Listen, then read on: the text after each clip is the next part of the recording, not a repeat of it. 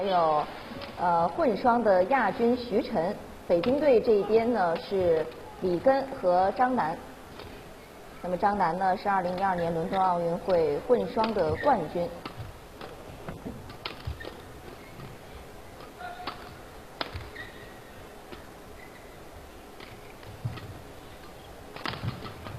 在第一场已经结束的男子单打的比赛当中呢，杜鹏宇是两个二十一比十四。呃，战胜了北京的选手邱彦博。那么接下来呢，这场男子双打的比赛，呃，一定会成为一场关键之战。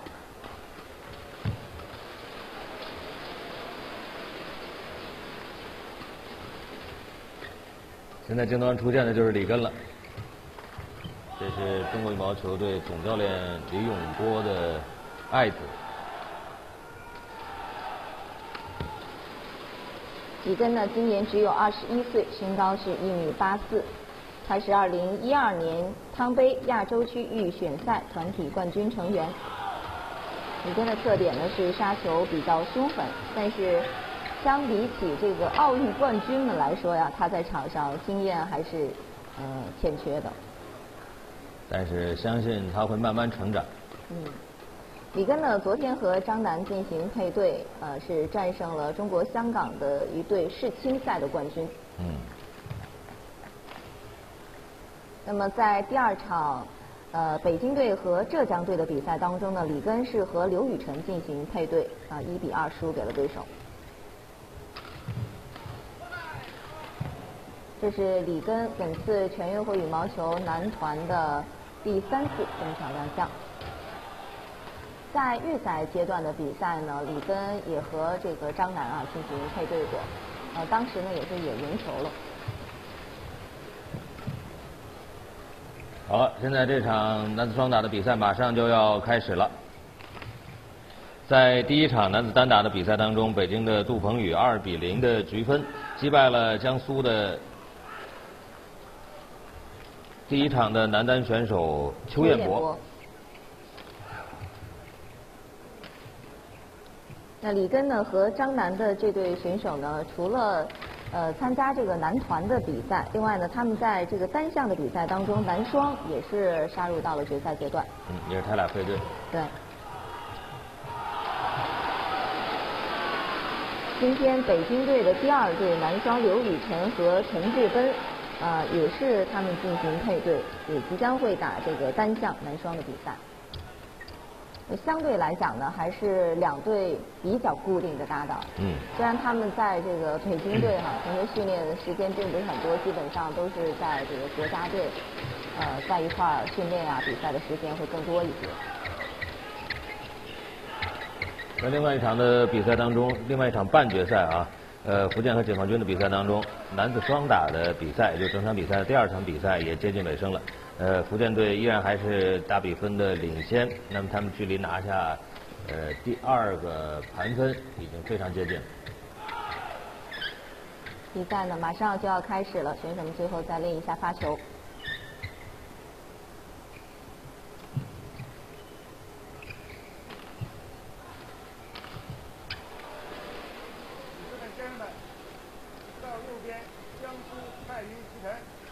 他们员是王征和。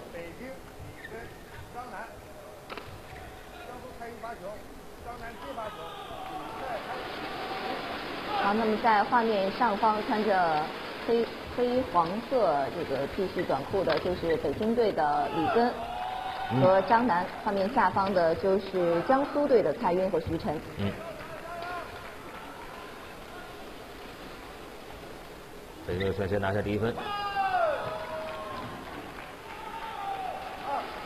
二比零了，李根来发球。嗯，扑往前。哎，这又造成了江苏队回球的一个失误。头顶的杀球，张楠杀向了徐晨。三比零。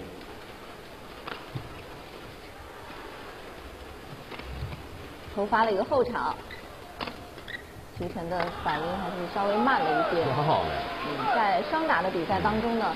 前三板啊发接发的环节呢非常的关键。对。我们看今天小将李根呢一上来是连得了四分了，刚才也是通过一个偷发的后场，呃，破坏了徐晨的重心和判断。看，还是发球啊！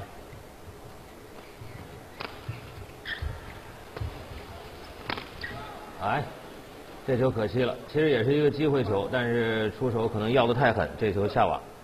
对，这个拍呀，太想打死了。对，一比四。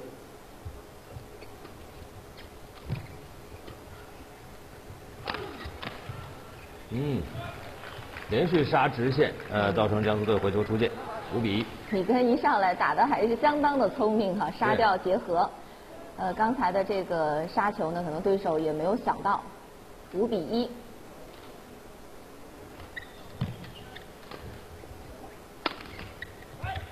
哦，漂亮！这个分球的落点正好是看到了对方的一个大空当。正好江苏队两个人站位出现了失误。这个空当抓的非常漂亮，可以说是一瞬即逝的一个空当。对，这显示出李根在场上啊，还是相当的冷静啊。嗯。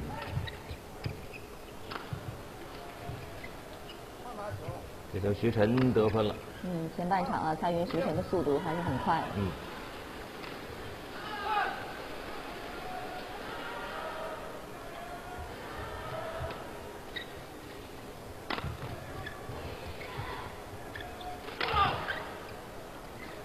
还是杀球的时候出现了失误，这是李根。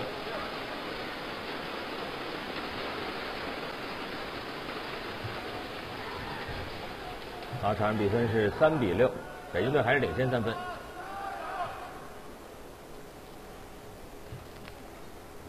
蔡云发球，好球！这就是张楠的特点啊，其实在这个。呃，混双的比赛当中呢，一般的女选手哈都会呃控制网前，男选手呢控制在这个底线。但是张楠呢，并不是一个传统的在这个后场杀球的这样的一个选手。嗯。他呢就会呃利用一些非常呃清晰啊明智的这种分球。对。啊，通过一些落点啊，能够限制对手的杀球进攻。所以。徐呃张楠呢，在场上应该说也是一名头脑非常冷静的选手。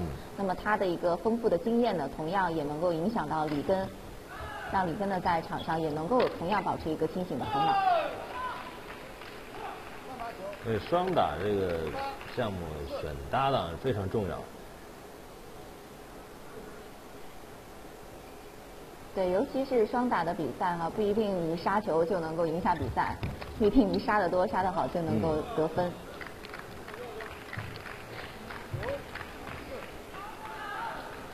九比四了，北京队在这一局领先。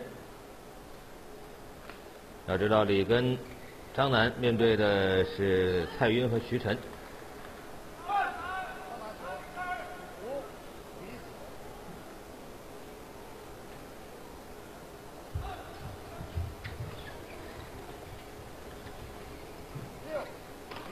北京队的张楠呢，是在呃什刹海体校毕业之后呢，二零零五年入选了北京队，嗯，混混双项目的冠军。哦。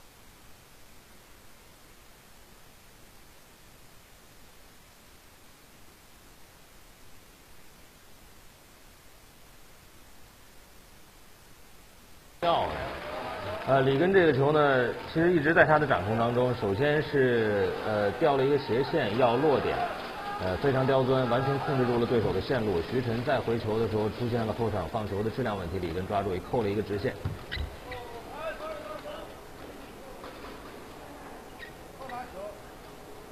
里根刚才这一拍反拍弹到了后场，应该是出界了。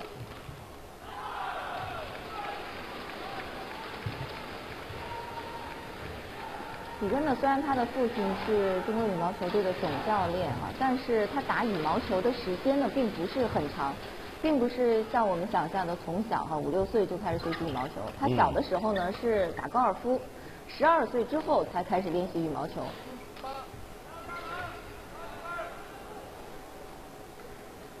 十二岁开始打球，这个确实不算早了。但是现在依然打到了全运会这个级别哈，应该说运动天赋还是呃有有传承。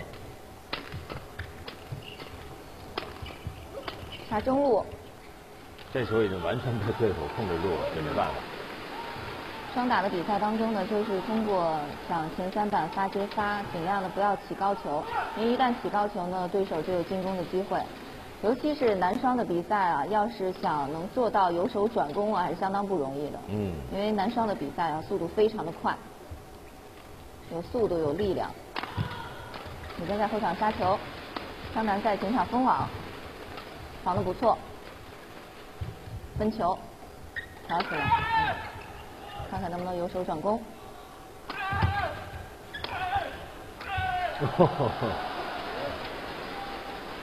江南这几拍啊，处理的还是不够细致啊。嗯。被动当中挑一个半场的高球，那对手呢肯定这个毫不手软啊。十比十，比分被扳平了。嗯，刚才对手是连杀了三板，也算是杀出了气势。现在要把对手这个气质控制住啊！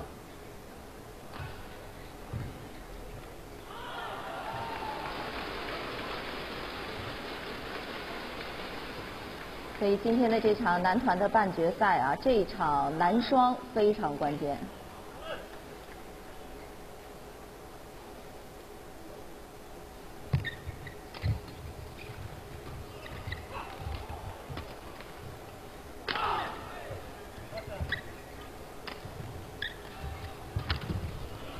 好球，机会！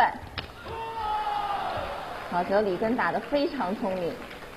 呃，两个人打的都非常聪明。呃，这一版的线路的选择，呃，以及力量的调配，啊，让江苏队这对组合是完全没有办法。嗯，基本上呢也是打出了北京队的一个呃最强的一个站位哈，就是李根在后场杀球，呃，张楠呢在前场封网分球。不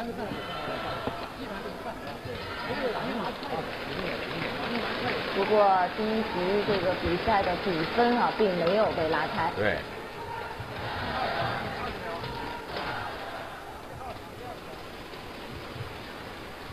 在这一局呢，应该说这两队组合发挥的相当接近。北京队稍占一点上风，可能是赛前心理准备更加充分，实力真是在伯仲之间。画面上呢，我们也看到了北京羽毛球队男队的教练肖辉啊。平时的一些这个世界大赛的时候呢，肖辉也会来到我们北京电视台担任羽毛球项目解说的嘉宾。嗯。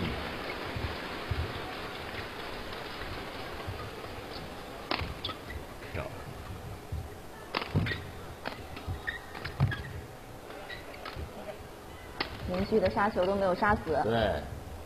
哎呀。在连续杀了五六拍之后，呃，被对手顽强的防起来，虽然没有形成全面的反击，但是导致呃里根反拍的这脚勾对角呢是出现了出界。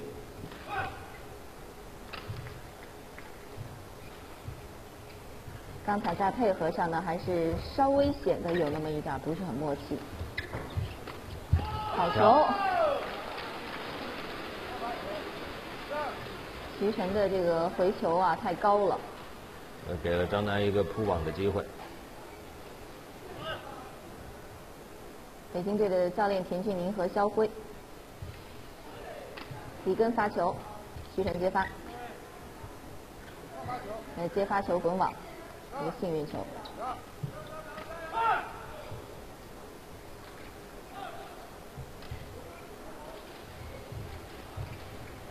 十二比十二，比分是交替上升。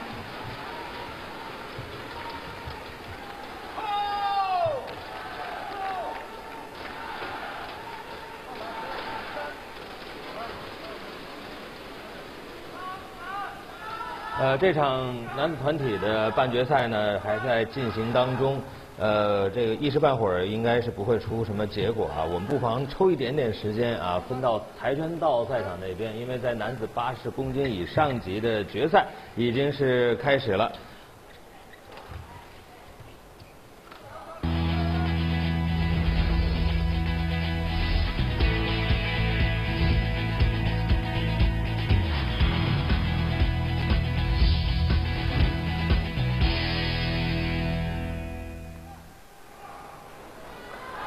北京电视台，北京电视台观众朋友，呃，现在呢，我们一起来关注一下第十二届全国运动会跆拳道男子八十公斤以上级的比赛。现在决赛已经打到了第三节，呃，刘晓波是穿蓝色护具的选手，而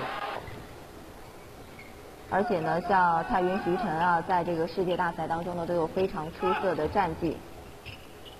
还有陈金，所以呢，今天的这场第二场比赛哈，男双的这场比赛会非常重要。如果北京队二比零领先的话，那接下来可能我们还会看到一些希望。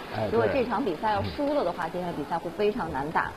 因为呃，北京队呢排在第三单的黄国兴啊，就说实话，之前我们去北京羽毛球队采访的时候，都很少见到这位选手，啊，非常的年轻。那么其实呢，之前呢，北京的三单是乔斌，但是在呃全运会这个团体预赛阶段的比赛结束之后呢，北京羽毛球队是来到了安徽的淮北啊，进行了大概两周时间的集训。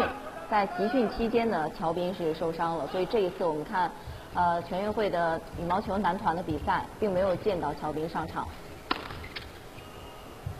所以非常遗憾啊。嗯，不过好在这个黄国兴啊，之前我们虽然并没有呃听说他取得过什么样的成绩，但是第一场这个决赛阶段第一场和广东队的比赛就打到了第五场。嗯。黄国兴呢就必须以第三单打的身份登场亮相，呃，最终呢还是二比零赢了对手。所以呢，北京羽毛球队也是开玩笑的说，希望呢黄国兴啊这颗小星星在半决赛阶段再闪亮一次。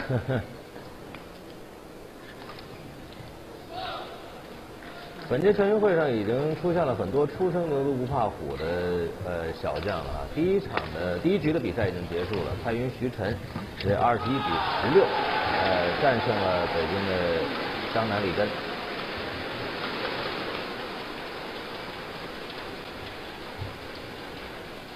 在第一局的后半段哈，张楠、李根是连续丢分。其实呢，在十六平之前。呃，两队选手呢，还是实力还是在伯仲之间的。嗯。这是北京羽毛球队男队的教练肖辉。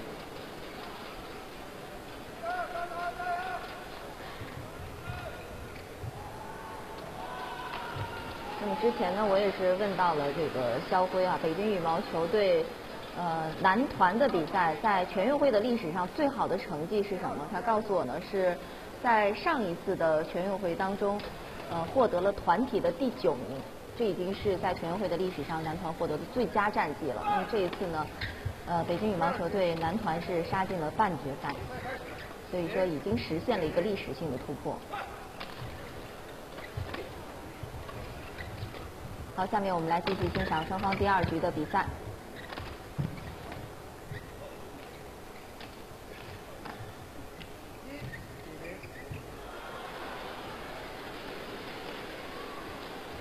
刚才呢，这一分李根应该是在判断上还是有一些犹豫，判断出现了失误。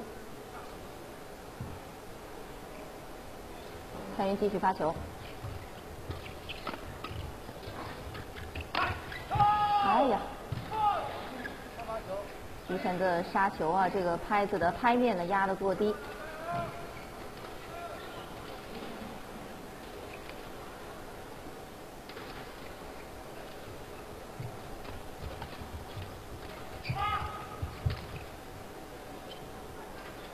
也出现了失误。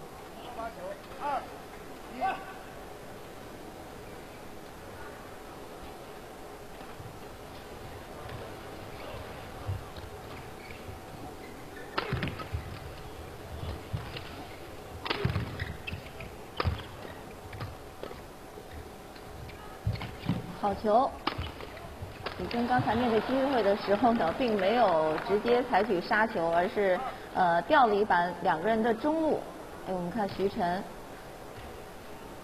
应该刚才在防守的时候，这个左脚的踝关节，我们再来看一下。啊，两个人的拍子碰上了，拍子打在了一块儿。因为毕竟两个人在国家队的时候呢，是不是原配？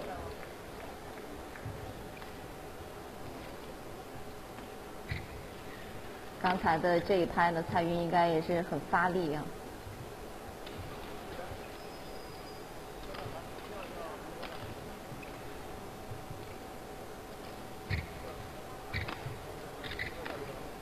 再来看一下这个画面，徐晨看起来表情还是挺痛苦的。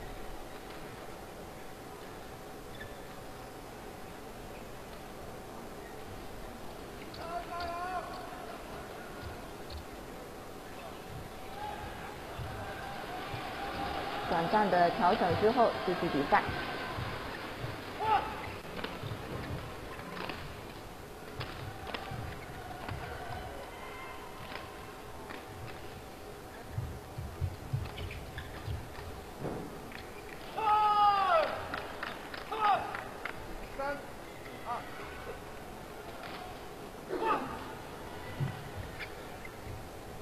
三比二，张楠、李根领先一分。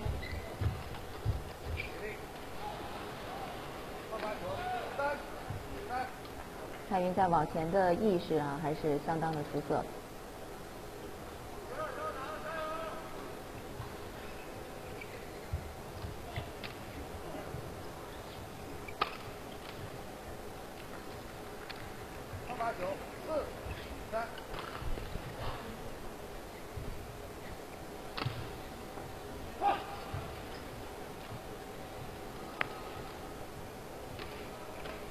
北京队的李根发球，徐晨接发。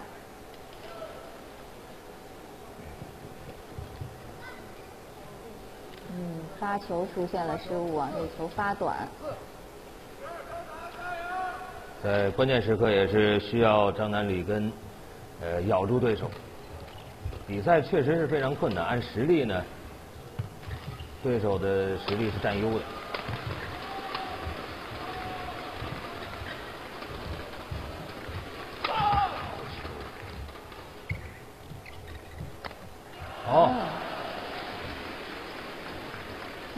徐晨的经验还是相当的丰富哈，成功化解了危机，而且呢，由手转攻拿下了一分。徐晨在往前的判断力相当的精确。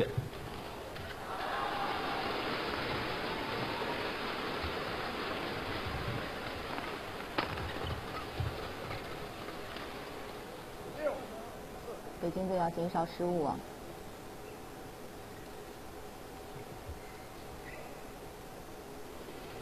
现在场上比分是六比四，蔡云、徐晨是领先。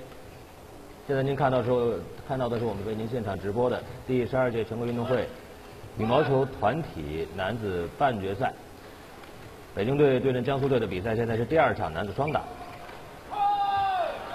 徐晨的跳球出界。蔡云今年已经是三十三岁了，伦敦奥运会的男双冠军。四届世锦赛的男双冠军得主。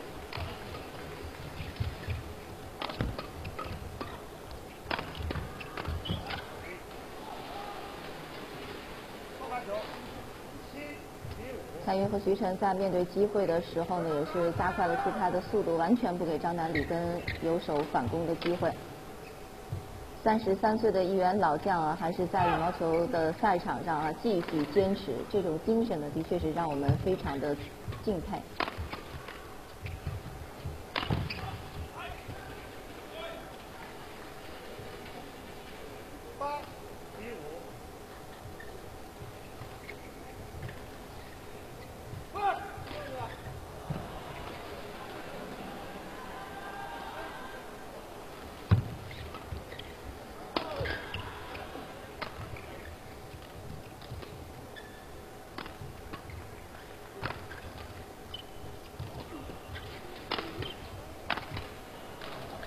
球，现在的蔡云、徐晨是完全打开了，对，呃，完全进入到自己的状态，感觉也是闲庭信步。对，九比五，四分落后。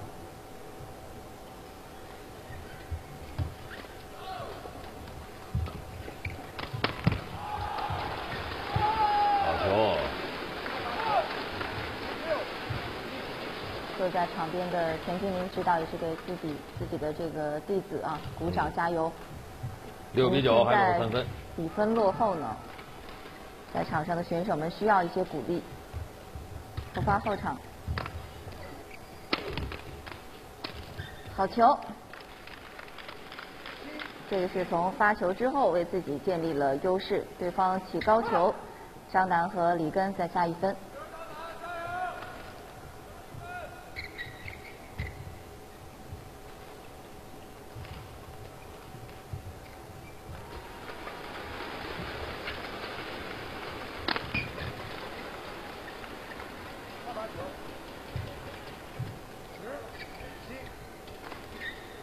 徐晨在后场杀球哈，正好杀到了两个人的中路。对。这个也是在这个双打的项目当中的一个主要进攻的线路。嗯。徐晨在大力杀球的过当过程当中呢，落点控制的还是很准。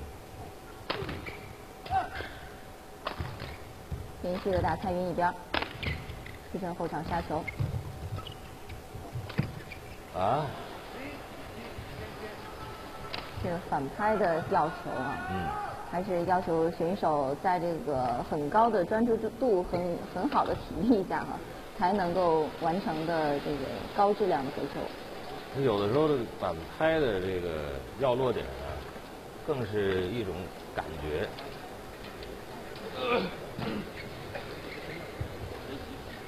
就是在这个比较被动的情况下，尤其是双打的比赛当中，确实很少出现这样的一个技术动作。刚才那场男子单打，我们看到过很多次机会。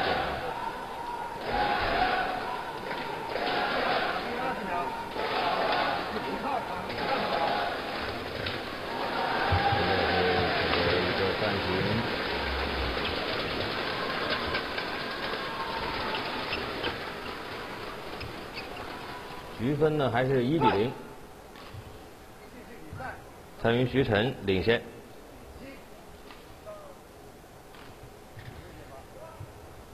和徐晨在第二局是率先进入到了十一分，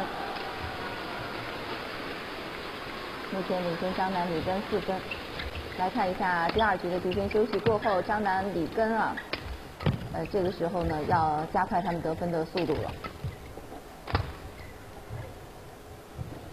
张楠的失误又送给对手一分。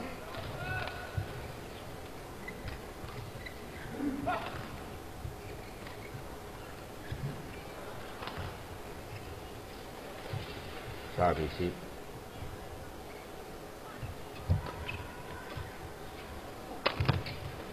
好球！这是里根的后场头顶的杀球，八比十二。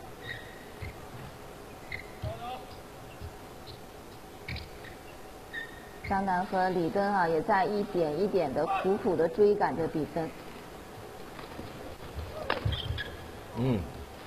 这个放后场的发球被对手判断到了，直接一个杀对角线。对，因为之前呢，李根在发球的时候呢，曾经发过徐晨的一个后场，徐晨曾经吃过一次，所以对这个后场的发球还是有些准备。嗯。啊。后场杀球的质量上，呃，打掉的落点的刁钻程度上，应该说蔡云、徐晨从第二局开始充分的都发挥出来了。看得出来，这对组合实力确实是相当强劲。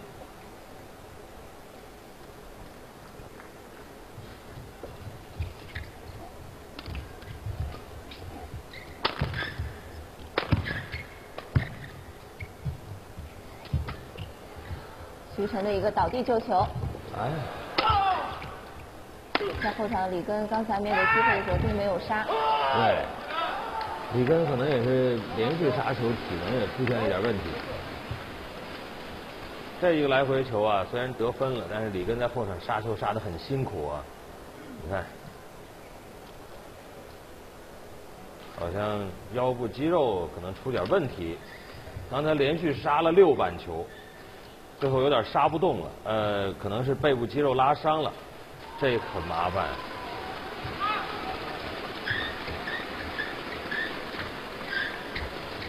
北京队的总教练田径宁也在询问啊，李根的情况怎么样？对。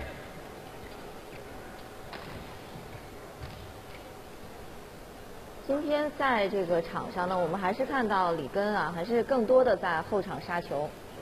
呃，张楠呢主要是负责一些往前。可能连续的这几拍杀都是发力，再来一拍，这一下打不动了。其实这之前他已经有点拉伤了。最后的这一拍是有点收力。嗯。呃，看得出来应该是很疼的样子。希望问题不太大。呃，如果真是拉伤的话，恐怕是很难坚持完比赛。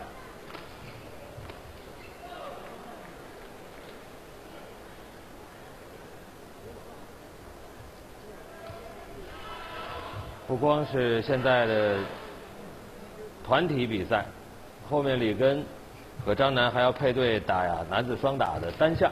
对。这一下的拉伤，不知道会造成多大的影响。当然，我们还是希望啊，在这场男团最重要的一场男双的比赛当中，还是希望李根能够继续坚持。但是要看他的伤病哈，究竟对他有影响有多大。对。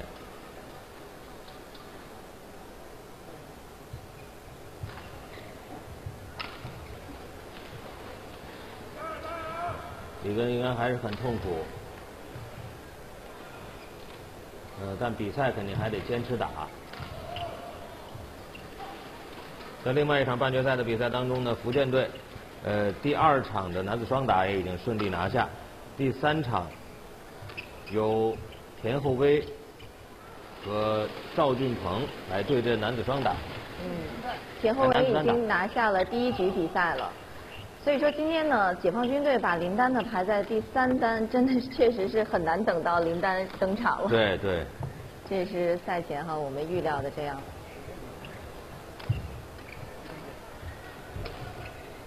不过，解放军队这样的一个排兵布阵啊，肯定也有他们自己的想法。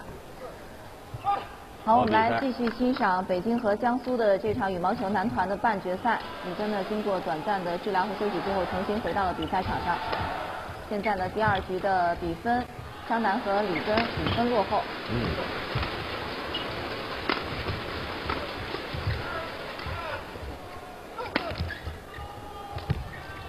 哦，漂亮。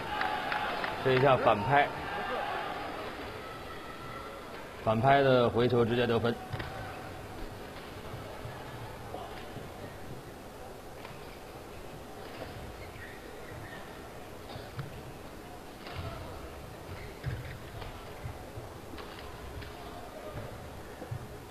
现在十比十四，球队还落后四分。嗯，又偷发一个后场。嗯，而且又偷到了。但是感觉里根还是看起来挺不舒服的。对。因为刚才里根连得了这个两分呢，并没有做一些大幅度的这种杀球的动作。一会儿我们还是要看一下里根在杀球的时候会不会影响。其实你看啊，呃，蔡云、徐晨其实还是，呃，用北京话讲挺局气啊。那里根受伤之后呢，这球基本都没有打到里根的点上。李根接发，换发球，十二比十五。蔡云的回球下网。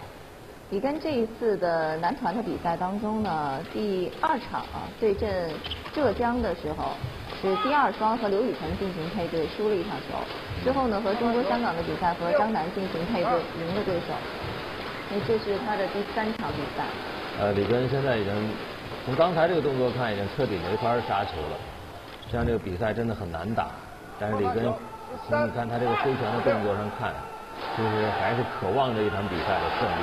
对他现在也在努力的尽量节省一下自己的体力哈，不让这个受伤的部位疼痛，这个勉强啊维持。还是不行。对，确实感觉。稍微做一个动作幅度大一点的回球，就立刻用手就捂一下后背。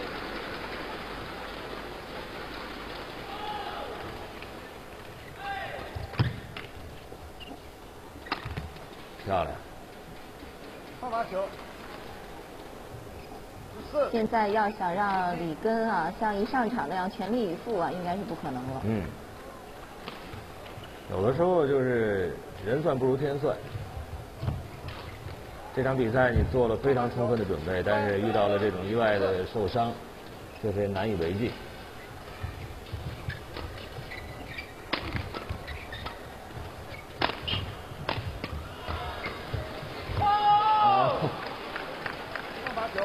这球呢，其实起源就是里根在后场起跳杀球已经做不出来了。对，两个人基本上是属于这种平行防守式的站位。那之前的比赛当中呢，像这种情况，李根呢一般都会在后场呢杀球进攻，张楠呢负责往前。这样的一个站位呢，应该对李根的伤呢有一些弥补。又偷了一个后场，好的。今天确实是徐晨在呃里根的偷后场的发球上吃了一些亏。三分了啊，同样的手段拿了三分。还有两分的差距。里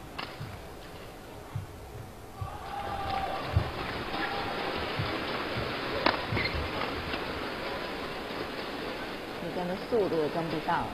三发球，十九，十六。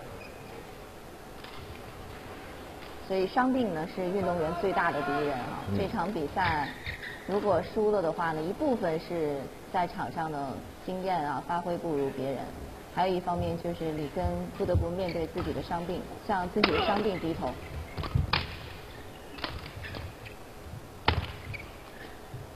呃，里根在后场现在威力完全发挥不出来，呃，在他的回球现在要只能打上百分之三十的折扣。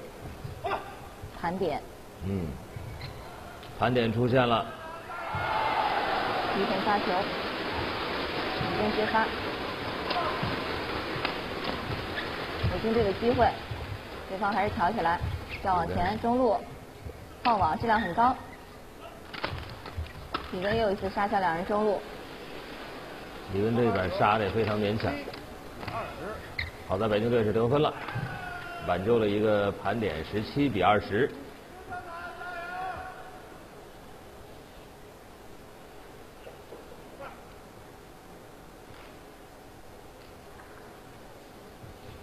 对方拿到了盘点，北京队也只落后三分，很难了。这个球杀球命中，最终呢，二十一比十七是这一局的比分。